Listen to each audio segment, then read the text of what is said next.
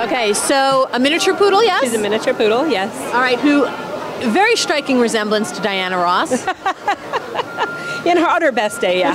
and how many wolfhounds do you have here today? I have four here today. Because one's not big enough for you. So, no, one is never. It's like potato chips. One is never enough. Her name is Dora. She's a border terrier. Has she ever been nicknamed Dora the Explorer? That is actually her show name. That is her formal name, yes. Have you met Dora? Because she's over there. She's your competition. And Winnie, uh, by the way, is a dual champion. Oh, okay. She not means- dual like fencing duel. Duel No. isn't two. Dual is in two. If Winnie could pick her favorite celebrity dog, would she pick Lassie, Rin Tin Tin, Benji, Eddie from Frasier, or the um, Taco Bell Chihuahua? the Taco Bell Chihuahua, of course. I'd have to go Eddie from Frasier. Something she could play with. Probably. Oh, I really don't know.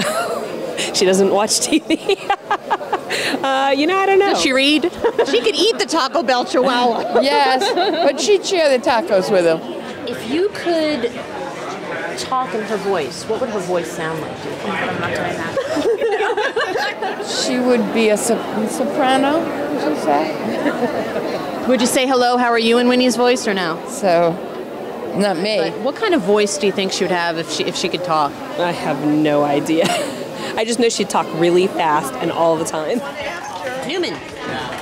Hello, Newman. Oh, Newman. I'm voting for you right away because you're a friendly dog. Don't tell Dora.